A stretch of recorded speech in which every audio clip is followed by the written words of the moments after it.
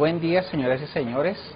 Eh, mi nombre es Edgar Orlando Alarcón, trabajo con la Universidad de Cartagena y dirijo eh, la unidad llamada Centro de Recursos Educativos y de Telecomunicaciones.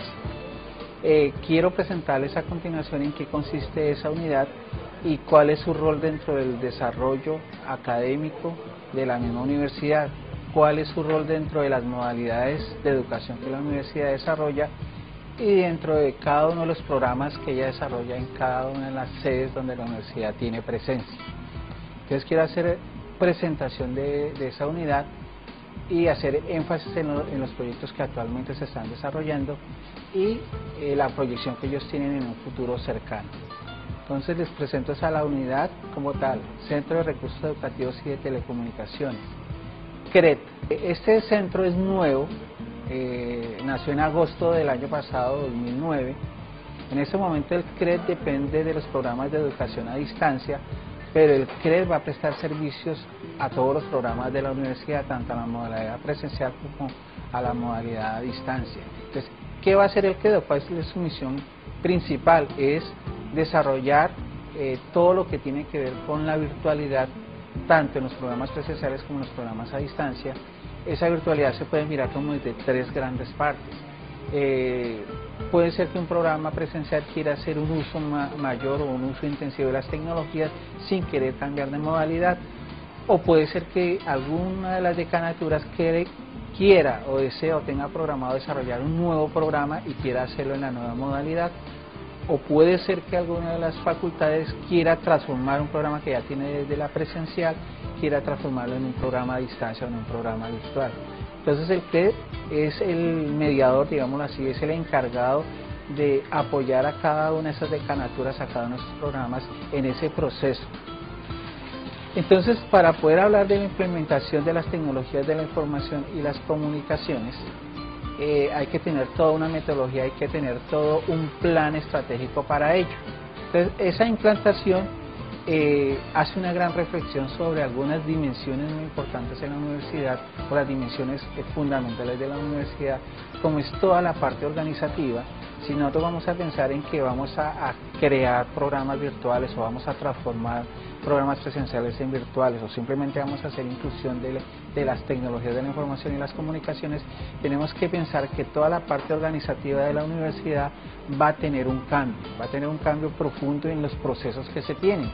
Si, por ejemplo, un alumno entra a, cualquier tiempo y él maneja un ritmo de aprendizaje eh, diferente al de algunos compañeros, el mismo rol del docente cambia, porque ya un docente no va a tener una serie de alumnos que están siguiendo al mismo ritmo un proceso de aprendizaje, sino que es un docente que va a tutoriar a una serie de alumnos que están marcando ritmos diferentes y por ende van en el avance de una temática en un momento diferente. Si es así también, entonces toda la dimensión del modelo pedagógico como tal cambia. Entonces no es solamente lo organizativo, sino también el modelo pedagógico como tal cambia. Y en el modelo entonces estamos hablando del rol del docente, cómo va a cambiar, y el mismo rol del estudiante, cómo hay que respetarlo cuando uno respeta su estilo muy particular de aprender. Dentro de ese estilo muy particular, pues están los intereses, están eh, la, intencionalidad de él, están los ritmos de aprendizaje de él. Entonces, ese respeto ahora hay que tenerlo presente y es respetado desde la misma organización y desde el mismo tutor. Entonces, mire que esas dimensiones van cambiando, lo organizativo y lo pedagógico. Y la otra dimensión que comienza a tener una relevancia importante es, todo lo tecnológico. Esa, eh, esa ayuda a nivel organizativo, esa ayuda a nivel de del docente se da en la medida de las posibilidades de la tecnología, lo que la tecnología en ese momento le ofrezca a la institución, en esa misma medida se podrán hacer esos cambios. Cuando uno comienza a hablar de educación virtual, uno maneja tres grandes dimensiones que hay que mirar en detalle, lo organizativo, lo tecnológico y lo pedagógico. Son tres dimensiones que hay que entrar a revisar. Entonces, desde una proyección estratégica hay que entrar a reflexionar sobre cada una de ellas y hay que armar un plan estratégico en cada una de ellas. Y ellas tres correlacionadas. ¿Quién correlaciona esas tres dimensiones? Lo organizativo, lo educativo y lo tecnológico. Una dimensión comunicativa. Lo comunicativo lo que me va a correlacionar cada una de las dimensiones. Lo comunicativo, por ejemplo, a nivel de tecnologías, es la que me da las posibilidades de cuáles son los sistemas de información, cómo interactuar con los sistemas de información. Lo comunicativo en un modelo pedagógico me va a hablar también de cuáles son los medios más adecuados, por ejemplo, para poder desarrollar una temática. ¿Qué medios y en qué secuencia, cómo voy a usar esos medios para poder desarrollar una temática?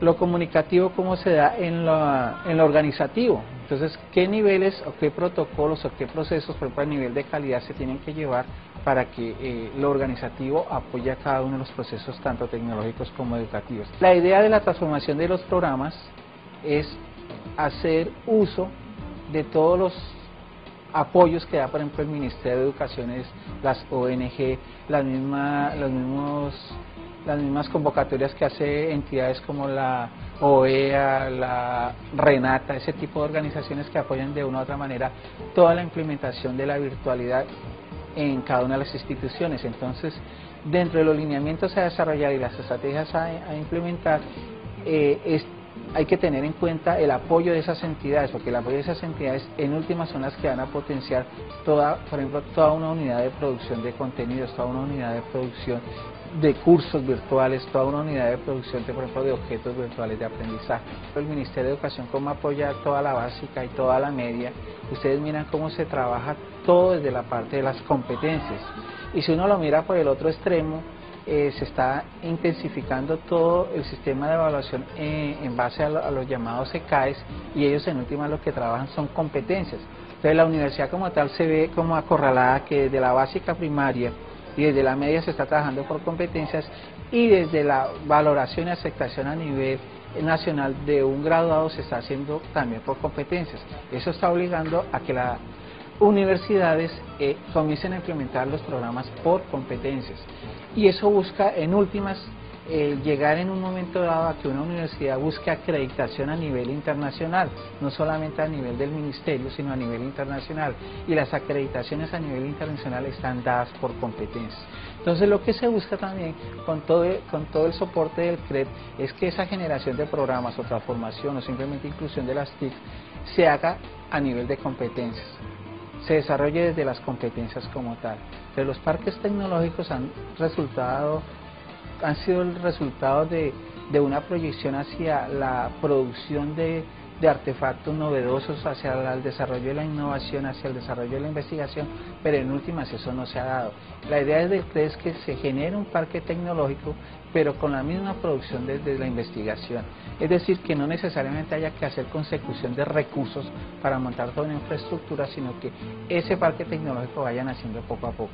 Entonces, desde ese ángulo, el CRED como tal está articulado con el Departamento de Investigaciones, en este caso, por ejemplo, con los programas de educación a distancia o en la parte de vicerrectoría académica eh, de investigaciones a nivel de toda la presencialidad. Entonces, ¿qué se busca? Que el CRED produzca, apoye y genere producción desde la investigación. Entonces, en este momento, por ejemplo, el CRED tiene un grupo de investigación, grupo de investigación avalado, eh, la idea es que, por ejemplo, en la próxima convocatoria de Colciencias quede categorizado las mediciones que hemos hecho hasta el momento queda categorizado en D, pero la idea es llevarlo a que sea categorizado en C.